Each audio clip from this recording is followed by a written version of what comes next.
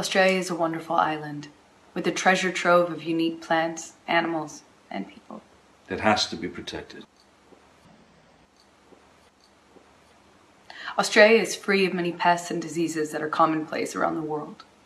That is why Australia has to have such strong biosecurity laws. And Australians are just as unique, both warm and direct. When you disrespect Australian law, they will tell you firmly.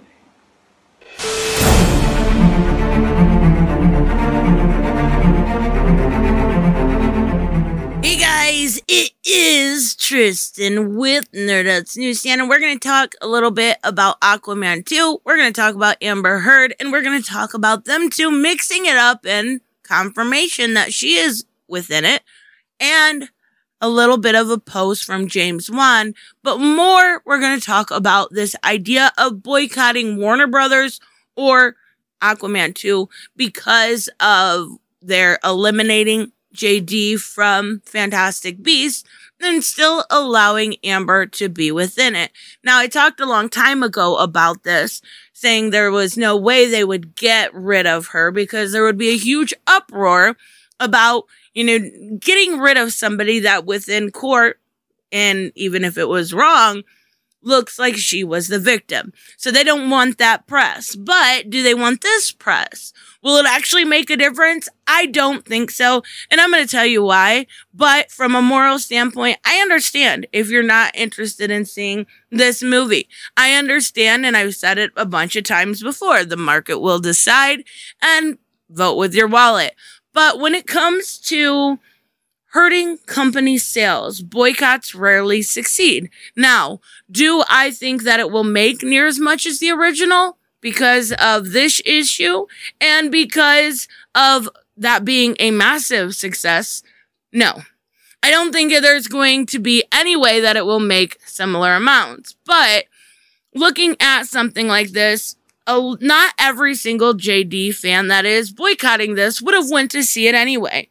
So, you have to think about it from a standpoint of do boycotts generally succeed? Unfortunately, the answer to that is no. In order to get boycotts off the ground, you have to talk about awareness and consideration of the issue, and it must spread and it must be widespread. Intent to boycott must be followed up then by those uh, spreading of ideas, right? People actually have to follow through with it. And then once the boycott's kind of underway, you must find ways to sustain the effort. So during mm, shooting, during when the movie is released, and even afterwards to not and continue to boycott. That's a lot. And, and that's why they rarely work. But there is a lot of noise, and I mean a lot of noise right now when it comes to this movie. There is this coming from James Wan, and um, I do know that they even released like the name of the movie. I really enjoyed the first one, and I think a lot of people, um, whereas maybe they didn't care for Amber, I thought she was a stronger character in it, but a lot of people aren't going to like that. I'm going to say that, but I, I don't, um, I, I'm not going to sugarcoat it. She's been going on social media every single day, just about posting different things with her training and her, what she's doing to get ready, you know, flowers she received and that she got back. It's, um, a way to almost troll fans, not her fans, Johnny Depp fans, I think. I think it gives her some satisfaction of knowing or thinking she won this. But when it is getting coverage. And the reason I specifically chose this and not some normal outlet talking about this is because this is a small local news network. When it's getting coverage on this scale, I think it's worth considering from Warner Brothers standpoint that this is having some effect and they either need to A, get ahead of it or figure out a way to maybe write her less in the script or, you know, bring in Dolphin and kill off Mera. That's a shame though, because the title that she takes up is so substantial in the comic books. And her being cast as that is kind of tainting the entirety of it, right? So there are plenty of people talking about this, and we're going to look over on Twitter, and that's really where it's taking place at. But the unfortunate thing about Twitter is it can work either one of two ways. You get it on trending because a lot of people talked about it and it doesn't really accomplish anything but get some people either knowing about the situation, maybe a little bit more education, which should always be a goal, but it doesn't really accomplish anything from a standpoint of actual actions moving forward.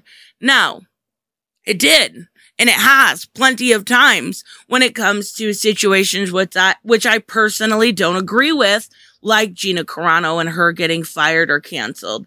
I don't agree with cancel culture as a whole. I take a little bit of, um, when it comes to this situation, because there is a crime committed. I, I, I think this is probably the exception, not to the rule, right? Whereas n- normally I wouldn't support anything of its sort. So, has it worked when it comes to, you know, besides maybe Gina Carano and a few other ones, has it worked? You can look at Uber or Starbucks or Budweiser. All of these brands have faced um, consumer boycotts. And honestly, it's not shown to be any sort of, oh, it's not shown to, to cost them financially at all. And that's really unfortunate. You see Chick fil A all the time on there, you know, a couple times a year. It doesn't really do much, but it does get people educated. I guess that's the basic point of all of this is getting people to know what's actually going on as compared to what the media wants you to think or what you're being told to think, right? So we're going to take a look at Aquaman 2. I can just hear people di- hitting dislike. Like, I'm not trying to be mean at all, but I'm going to tell you the facts of the situation and and, and mm, of course, this is just my opinion, but when the statistics show us that boycotts generally don't work, if you want to, you know, not see the movie on, on principle, I think that's great. If you want to see the movie, there are plenty of other people you can kind of go in your mind and be like, okay, well, yes, she is one person, but then you also don't think about, you know, the other actors involved, the production company, the people that are writing the movie, the people that do the makeup or the cinematography, the people that edit. We can go on and on down the line where the money is spread out and it's not going directly to her salary. So hurting those people on basis of hurt, hurt plus hurt doesn't equal, you know, love or anything like that. So we are seeing a lot of people though, and this is off and on oddly enough, trending. Um, seeing Aquaman 2 is now filming. And I'm, I, I, I'm going to say, I will tell you right now, I'm the first one to say I'm interested. I really enjoyed the first one. I thought it was good. I see Amber Heard is still going to be on Aquaman 2 after abusing Johnny Depp. Some things you can just never change in the world we live in. And that's unfortunate. It's unfortunate, but 100% true. What can you do? You're just one voice. Well, it takes a whole group of people to actually do something. But those double standards are absolutely terrible. And maybe, maybe I'm wrong. Maybe supporting those double standards is ridiculous on my part.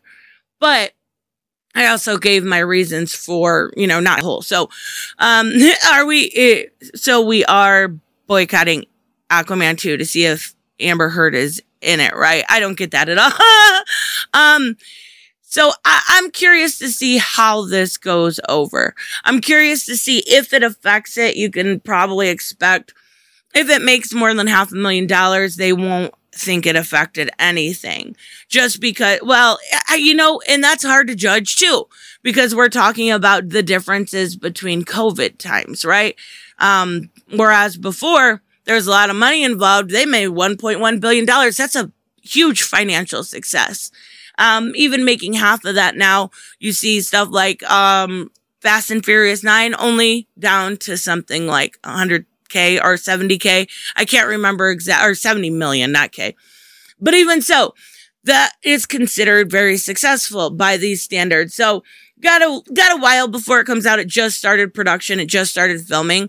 I'm curious to see when it does come out, what it is going to make at the box office, and compare it to beforehand. So let me know what you guys think about this if you're interested in seeing it or if you think I'm wrong on my stance on, you know, boycott not really being uh, a, a logical idea besides for your own moral compass, which is which I totally agree with. I understand there. So let me know what you think. I will see you in the next one. Bye bye.